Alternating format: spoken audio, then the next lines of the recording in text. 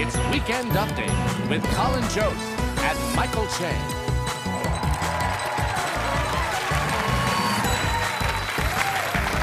Good evening, everyone. Welcome to Weekend Update. I'm Michael Che. I'm Colin Jost. Well, at last year's finale, it seemed like COVID was fading, and I said we were about to have the horniest summer ever. and now, summer's hottest STD is monkeypox. That's how weird and bad things have gotten. The stock market is crashing, there's a war in Europe, everyone on This Is Us is about to croak.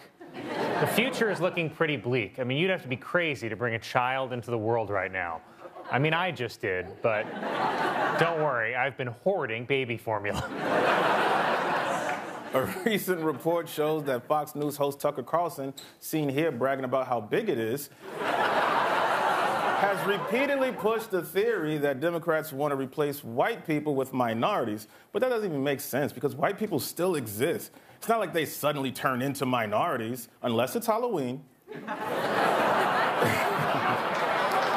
Tucker Carlson's got a lot of nerve pushing these wild conspiracy theories because if he thinks the government has a secret plot to help minorities, well, he must be smoking that crack the CIA secretly put in black neighborhoods.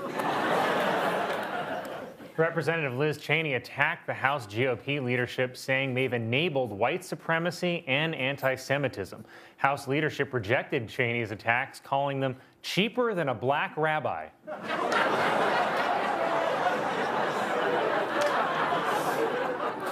Right wing. Right wing election denier Doug Mastriano, whose face appears to be photoshopped onto a hot dog, won the Pennsylvania Republican primary for governor and said if he's elected, he would be so far to the right, he would make Ron DeSantis look like a centrist. Instead of what DeSantis looks like now, my dad watching me in the school musical.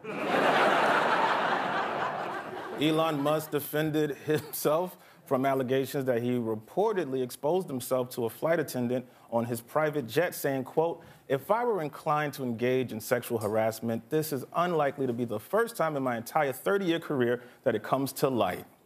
Ooh, sorry, we were looking for a simple did not do it. The answer was did not do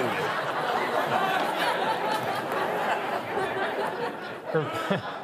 Republicans in Georgia are concerned that Donald Trump has endorsed candidates in the primaries who aren't qualified. For instance, his pick for attorney general is literally 90s action star Steven Seagal.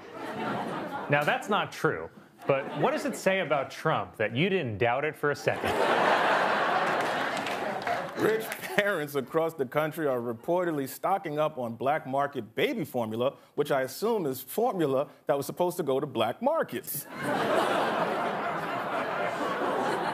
Taylor Swift gave a commencement address at NYU's graduation ceremony this week because college is a lot like breaking up with Taylor Swift. You're still going to be paying for it decades later. Former President Trump announced that he is writing a book about alleged voter fraud in the presidential election. The book will contain 8,000 commas and no periods.